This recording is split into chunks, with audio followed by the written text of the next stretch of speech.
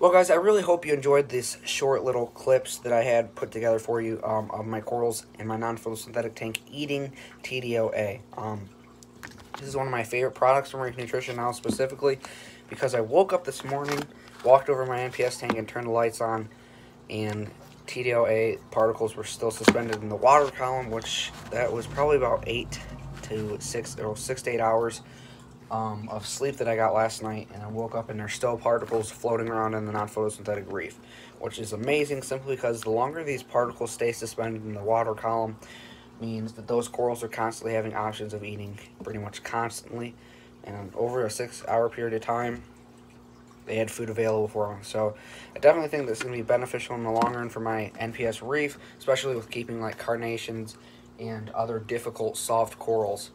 Um, other than that, that's really what I wanted to show you guys today. I mean, there's still a lot more um, coming up in the NPS Reef. I got a bunch of plans for it, and I'm really excited to see what this tank has coming in the future.